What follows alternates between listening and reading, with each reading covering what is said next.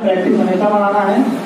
और बिना देखिए आजकल एस एस की कोई भी परीक्षा हो वो लोग ये नहीं देखेंगे कि मतलब आप जानते कितना है। क्वेश्चन जानना और उसको कम समय में करना ये दोनों में अंतर होता है।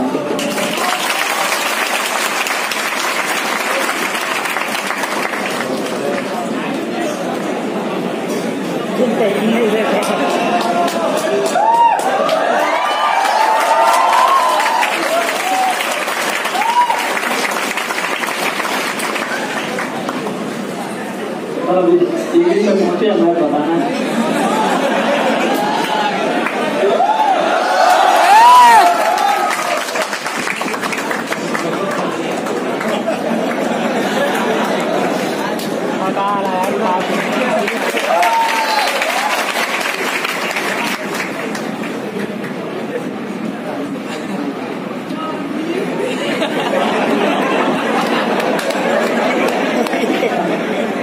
अरे मैं रोगिन परवाह नहीं भाई सुबह सुबह ज़्यादा हो गया था सुबह सुबह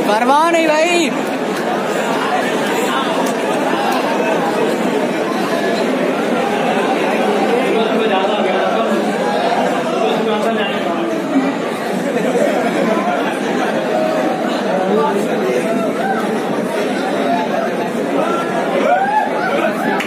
बजा ताली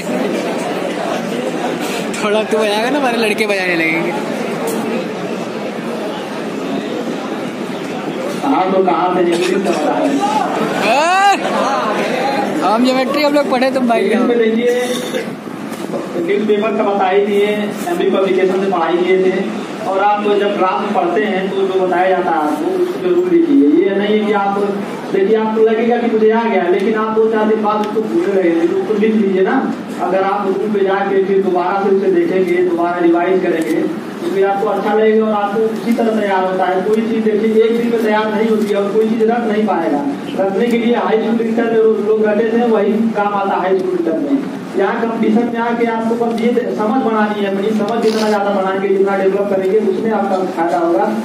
और इंग्लिश के लिए तो देखिए प्रैक्टिस बहुत ज़्यादा इम्पोर्टेंट है उसमें रीडिंग करिए आप। रीडिंग जितना ज़्यादा ज़्यादा होता है।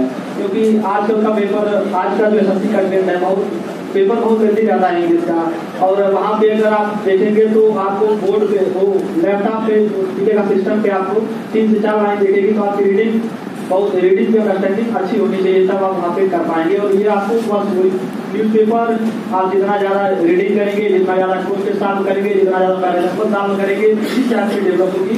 और ये कोई बहुत रॉकेट साइंस नहीं है एसएससी में सिलेक्शन पाना या इंग्लिश जानना है, बहुत सिंपल सी बात है। हम भी इंग्लिश आठ नंबर से शुरू किए हैं, जब पचास से आठ नंबर पाए थे, पहली बार इंग्लिश का दिए थे। एग्ज़ाम लेकिन आज फोर्टी टू पॉइंट फाइव पाए थे तो ये सब बस ऐसे ही हुआ है न्यूज़ पेपर पढ़ते पढ़ते एक दो साल, तीन साल में ऐसे पढ़ाई करके हो गया, उसके बाद देखिए मैथ में आते हैं। मैथ में मैथ में देखिए इतना ज़्यादा मैटर है मार्केट में कि आप परेशान हो जाएँगे। आप मैथ में ये काम करिए कि आपको जो पढ़ाया जाता है, जो सीट पढ़ाई जाती है सीट देखिए इसमें हमेशा मॉडिफिकेशन होता रहता है, हमेशा मॉडिफाई किया जाता है। और सीट को बहुत अच्छे से ऑब्ज़र्व किए हैं जब हम पढ़ते थे, तब तो था उसके बाद से भी देखते हैं, हमेशा नए नए क्वेश्चन आते हैं। जो क्वेश्चन एस के ट्रेंड में है, वही क्वेश्चन डाले जाते हैं। आप सीट को हमेशा लगाइए, एक से एक, नहीं दो, नहीं तीन, नहीं चार, पाँच बार जितना बार लगा पाए सीट को लगाएँ, किसी देखिए आप पचहत्तर बुक लगाइए, एक बुक को पचहत्तर बार लगाइए और पचहत्तर बुक लगाइए, आपको ये फ़ायदा करेगा, एक बुक को पचहत्तर बार लगाइए।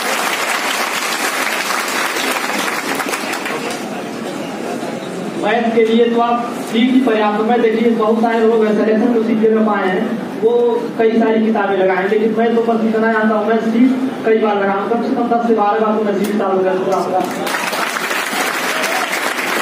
आपका हर चीज़ में जब सात सौ आठ सौ क्वेश्चन मिल रहे हैं और हर वैरायटी के क्वेश्चन मिल रहे हैं तो आप ज़्यादा परेशान नहीं बस सीट चालू करिए सीट में अपना तैयारी बना लीजिए। उसके बाद अगर आप लगे कि हाँ आपको सीट आ गई, तैयार हो गया तो आप प्रीवियस ईयर क्वेश्चन उठाइए मार्केट के और सीट में भी लगभग आधे क्वेश्चन प्रीवियस ईयर है। प्रीवियस ईयर क्वेश्चन उठाएँगे और आप उसी दिन जिस सीट साफ़ कर लिए, सर की सब क्लास कर लिए, उस दिन उठा के देखेंगे, आप सौ में अस्सी क्वेश्चन न कर जाए तो कहिए। अब उसके बाद का जो बीस क्वेश्चन है, वो डिपेंड करता है आपके अंडरस्टैंडिंग में क्योंकि हर साल बीस से पच्चीस क्वेश्चन नए आते हैं। जो आपका जो ज्ञान है, वो प्रीवियस ईयर से या आपको नए टाइप का मिलेगा, वो आपका अंडरस्टैंडिंग पे डिपेंड करेगा। और आप लोग देखिए, बहुत ज़्यादा सार्टिक के चक्कर में न रहिए। हम तो नहीं रहते थे सार्टिक के चक्कर में, बेसिक फार्मेशन करते थे, क्योंकि मुझे पता रहता था कि मैं भूल जाऊँगा एग्ज़ाम में भूल जाता है ऐसा हो जाता है।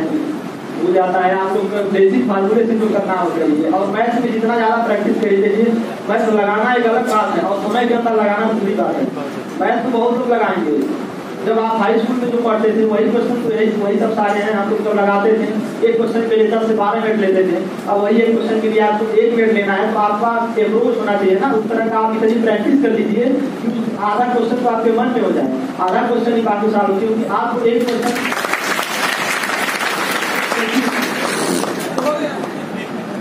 क्योंकि आपका एक क्वेश्चन तो देखिए, एक क्वेश्चन के लिए एक मिनट टाइम मिलता है। उसमें आपको सॉल्व करना है तो आपकी प्रैक्टिस जितनी ज़्यादा हो पाए, उतनी ज़्यादा करिए। मैं तो मैथ के लिए कम से कम दो सौ एस दिया था। मेन्स की एस दो सौ दिया था। और दो सौ एस के देखिए, सारे सारे आपको क्वेश्चन कवर हो। जाएँगे दो हज़ार क्वेश्चन बहुत होता है। अगर हर वेराइटी क्वेश्चन देखे जाए, नए क्वेश्चन देखे जाए तो। और, एक साल में करिए प्रैक्टिस करिए उसके बाद जो मार्केट में ट्रेंड में है, आप लोग कोई भी एग्ज़ाम देने जाइए। अगर आप टीचर की एग्ज़ाम देने जा रहे हैं तो आज के दो साल पहले का, जैसे टीचर जब से आया है, तब से जितने सारे पेपर हुए, उसको उठाइए सॉल्व करिए, देखिए। कुछ क्या रहा है, किस तरह का ट्रेंड है, उसी तरह के क्वेश्चन सॉल्व करिए। बहुत ज़्यादा पुराना क्वेश्चन बहुत पहले क्वेश्चन इजी आते थे, और बहुत ट्रिकी अप्रोच रहता था तुरंत हो रहा, लेकिन अब तरह नहीं है। कैलकुलेशन आप तगड़ी बनाइए, जितना अच्छा कैलकुलेशन रहेगा, उतना अच्छा कर ले जाएँगे।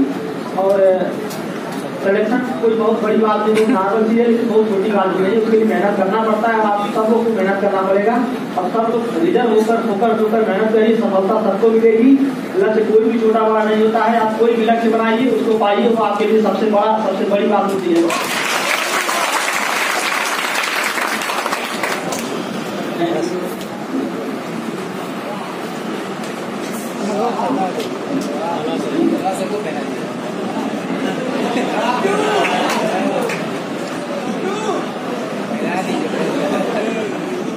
लड्डू।